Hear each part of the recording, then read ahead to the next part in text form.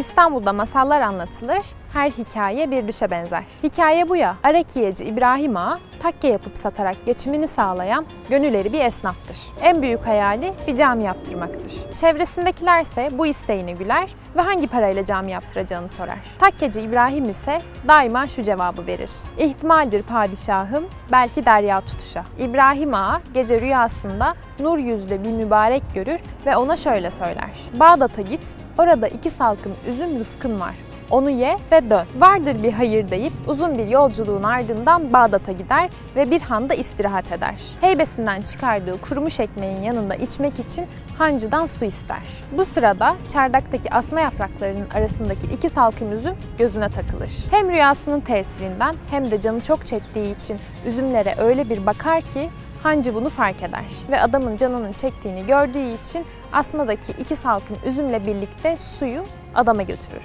İbrahim Ağa da keyifle ekmeğini ve üzümünü yer bitirir, rüyasındaki zatın dediğini yapmanın huzuru içindedir. Hancı bu garip yolcunun yanına gelip sorar. Hayırdır arkadaş, sen buralara nereden geldin, nereye gidersin? Takkeci İbrahim Çavuş rüyasını anlatmaya başladığında hancı basar kahkahayı. İlahi, bir rüyaya bağlanıp bunca zahmete değer mi? Bana kaç defadır İstanbul Topkapı'da Takkeci İbrahim Çavuş'un evinin bahçesinde kuyunun yanındaki büyük taşın altında bir küp altın gömülüdür. Gidip onları al derler. Ben de şimdi kalkıp ta İstanbullara mı gideyim? Sen kalkıp iki salkım üzüm için ta buralara kadar gel. Allah akıl fikir versin ne diyeyim der. Rüyanın sebebi hikmeti ortaya çıkmıştır.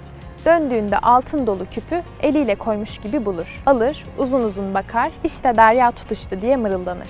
Küpün yarısıyla bir cami inşa ettirir, kalan yarısıyla da yarın bir gün camiye bir şey olur diye caminin gizli bir kısmına saklatır. İşte bugün Takkeci Camii olarak bilinen şaheserin arkasındaki hikaye budur.